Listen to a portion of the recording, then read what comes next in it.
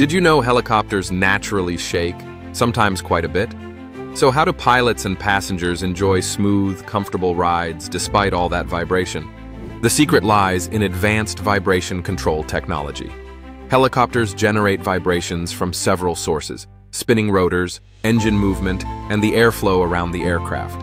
If left unchecked, these vibrations can cause discomfort, pilot fatigue, and even structural damage over time. To combat this, engineers use a variety of clever solutions. First, special dampers, think of them as high-tech shock absorbers, are installed in the rotor system to absorb and reduce unwanted shakes. Some helicopters also use vibration isolation mounts that physically separate the cabin from vibrating components, keeping the interior steadier. Another cutting-edge method is active vibration control.